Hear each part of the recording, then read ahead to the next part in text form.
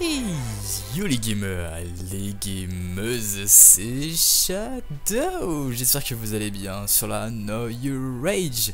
Alors oui, ça fait un long moment que vous m'avez pas entendu sur la You Rage, mais ça y est, je suis de retour et aujourd'hui sous vos yeux, je vous présente une nucléaire en recherche et destruction.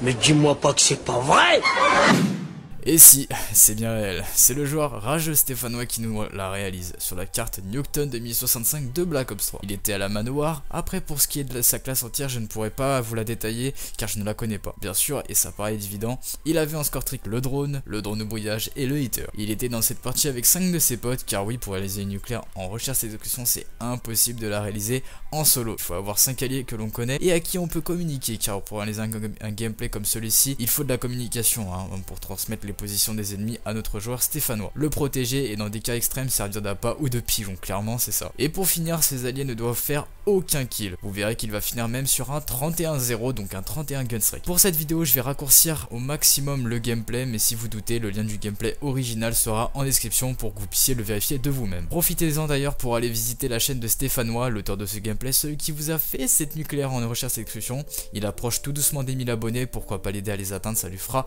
vraiment plaisir. Ou alors à passer sur ses dernières vidéos et y mettre quelques pouces bleus. Vraiment, je vous conseille de vous abonner à sa chaîne pour suivre ses gameplays. Il propose du lourd et comme vous savez, le DLC DLC 4 approche, alors il nous sortira pourquoi pas des gameplays dessus. D'ailleurs en parlant du DLC 4 de Black Ops 3, si vous n'êtes pas abonné à la Know Rage, c'est le moment de le faire, on vous tiendra au courant de toutes les informations sur ce DLC 4 qui je le rappelle s'appelle Salvation. On vous sortira aussi très bientôt des gameplays avec les Gunbox dès qu'ils seront disponibles et sur les maps de DLC 4. Voilà je pense avoir tout dit avec cette vidéo alors j'espère que celle-ci vous aura plu, si c'est le cas n'hésitez pas à lâcher un petit si vous êtes timide à mettre un like, je vous dis à la prochaine, salut tout le monde, c'était Shadow, bye bye.